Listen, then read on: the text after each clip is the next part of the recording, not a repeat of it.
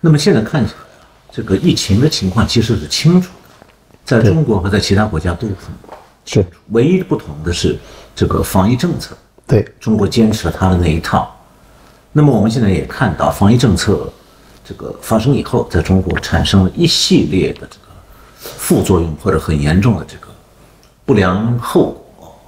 比方讲上海封城，对，我们都是上海出来的，所以对上海很熟。觉得说上海市发生的所有这些情况，实际上已经在社交媒体上传得纷纷扬扬，几乎全世界都知道。对，嗯北京不可能不知道。那你认为说北京现在为什么完全不顾这一切？好像到今天上海也还没解封，是吧？呃，昨天听说上海宣布，呃，社会面清零，呃，他认为社会面已经清零了，呃，这个我相信北京是知道的，呃，但是呢，呃，这里有两点，我觉得可能值得去探讨一下的。一点呢，就是上海跟北京从来就不是呃完全在一条线上的，呃，在在中国大陆哈，共产党统治以后。大概能够和北京呃有一个稍微有点平起平坐这个地位的，应该就是上海，其他的地方是任何地方比不上的。广州啊，呃，什么深圳啊，那个没法比的。呃，一个是一个是经济、文化、教育，就是它是全方位的，是另外一个中心。严格的说哈，既是政治中心，也是文化中心，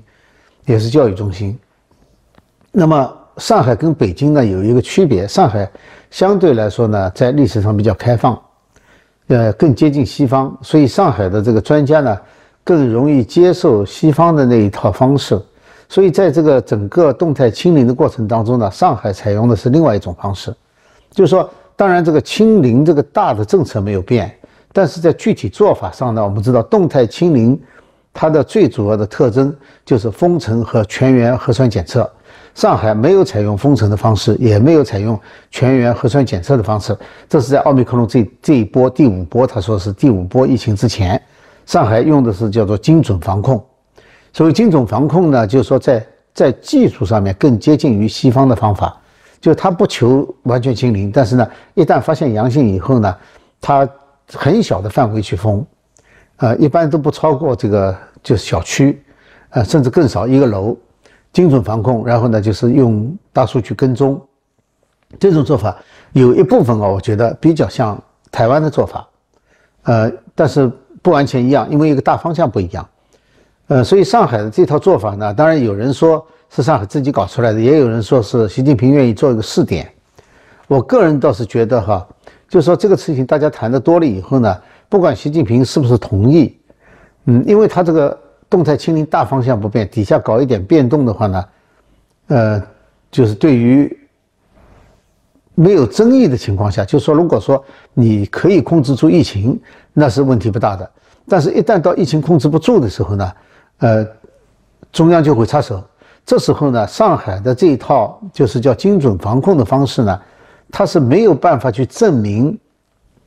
它有优越优越性的。就像西方国家的这个。在这之前的所有的这种呃，只用就是共存的方式啊，共存的方式它要有一个时间，就是共存方式，你可以看到在每一波疫情来的时候都会出现一个高峰，然后呢死亡率增加，然后再慢慢降下来，然后再降到谷底，就变成一个很平坦的曲线。但是问题就在上海这次疫情，你没有办法证明上海的这套防疫方式是工作的，因为中在达到峰值之前，中央已经强力插手了。强硬插手以后呢，就采取其他地方的那种硬性的一刀切的这种封城方式。所以上海人家说精准防控碰到奥密克戎不灵了，不见得是上海没有机会来证明自己这一点。所以从这个角度上来说的话呢，可以说哈，这是在中国一个比较小的范围，不是说最大范围啊，在动态清零和共存问题上，而是在动态清零这个大前提下，用哪一种方式。来控制疫情，实际上存在着，按照中共的讲法，就是存在着两条路线的斗争。所以，对于我觉得，对于中央来说的话呢，对于这种做法，上海独树一帜的做法，从即使是点过头同意过，从内心是不赞成的，是不满意的。因为谁让你搞一个特殊化？呃，在中国是因为中共是一个高度集权的一个统治。你想想看，从东方上海到最西面的西藏、新疆，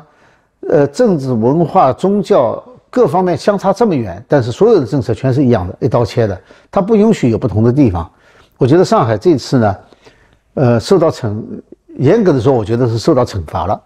受到惩罚的原因之一呢，我觉得哈，就是因为上海，呃，更强调专家。而而中共呢，虽然说现在不怎么叫了哈，但是性本质上还是一样的，就是外行领领导内行，因为只要外行是党的领导，他就一定能够胜利，他就一定比内行要有用。呃，这个到现在其实没有改变过。你像现在到上海去指导这个社区防疫的，是一个是是一个很年轻的一个中医嘛，而且他是在只是在北面哪一个省份的一个一个社区里面当过。那种医生，我觉得就类似于赤脚医生这个角色，现在就派到派到上海去。这除了羞辱上海的专家以外，你说还有什么用处？他去指导上区的上海的市区那个社区防控。如果说不派这个人去，我还没有直接证据来证明中央有意的要去给上海难堪。但有这条证据的话，我觉得就足以证明了，就这里面确实是有两条路线的斗争在。